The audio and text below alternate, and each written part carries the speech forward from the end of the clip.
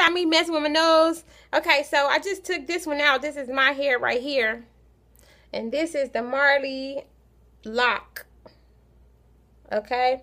So they all over my head, but I just want them out because they're a little tight right here at the root.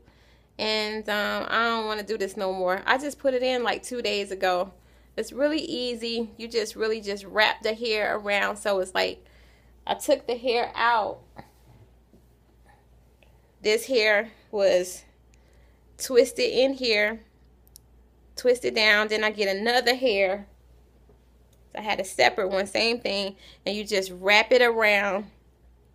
Wrap it around, wrap it around, wrap it around, wrap it around. And it looks like a lock. Yeah, so let me know what you think. How they look.